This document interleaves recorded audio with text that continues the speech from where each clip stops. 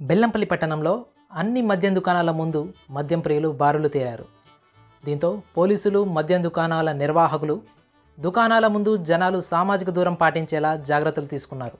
కొన్ని చోట్ల బ్యారికేడ్లు ఏర్పాటు చేశారు. నలభై ఐదు రోజుల లాక్డౌన్ తర్వాత మద్యం దుకాణాలు తెరవడంతో ఉదయాన్నే మద్యం ప్రియులు లైన్లు కట్టేశారు.